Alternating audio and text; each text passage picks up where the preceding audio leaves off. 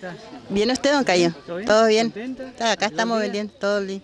Eh, Bien. Bueno, como siempre, sus productos. Sí, empanada, pastelito y algunos dulces, unos picles.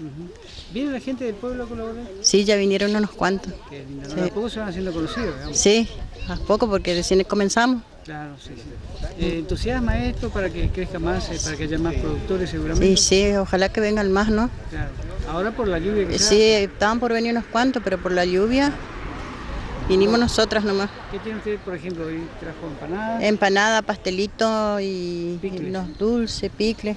Escabeche traje también, pero ya vendí todo. ¿En cabeche qué hace, por ejemplo? De lengua, de pollo, Ah, de, todo se va. sí, de carpincho. Qué bueno. De que el animal que consiga lo hago en el cabeche. Ah, sí, cabeche. Bueno, gracias por su tiempo. bueno, muchas gracias, Esteban Cayo.